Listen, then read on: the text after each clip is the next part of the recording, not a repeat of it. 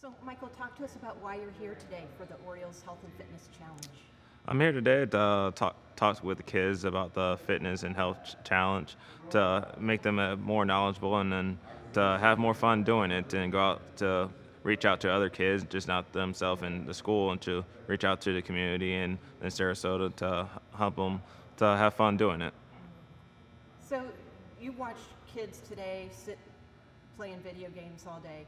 Talk to us about why your example as a professional athlete can help them get off the couch and get out and play with their friends out outdoors or indoors, but just being more active. Uh, it's to me like growing up as my uh, growing up in my uh, community, just having fun with my friends and all growing up with them and being able to go back and li- relive the experience with the kids and playing different games, hide and seek, and playing uh, kickball outside, and just uh, the experience of having fun with their peers.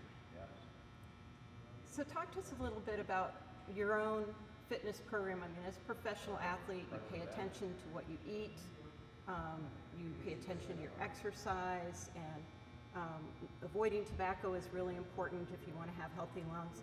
Talk to us about what you think your example can be for young people. Uh, for me, just every every time uh, off, se- off season, even I get my wife and uh, and I, we just work really important to stay healthy and stay to be able to even play with our newborn when she's uh, uh growing up and be able to have fun and being able to uh, last a whole season to, with exercise and eating right, and we really make it important to eat right as well.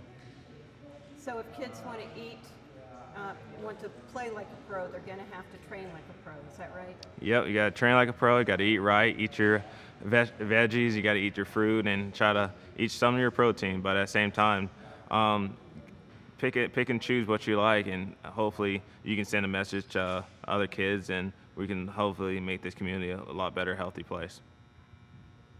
So talk, talk to us about um, the kids looking up to you as a pro ball player. I mean, you're out there on the field, you're wearing the colors.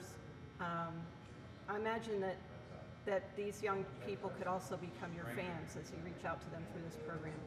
Yeah, hopefully uh, get more experience of uh, being an Orioles fan, but at the same time, I want to be a, much a fan of theirs to be able to have have time with them, is be able to get to know them and see their likes and their needs, and be able to get back and hopefully have them have a better knowledge and help them uh, have fun doing it.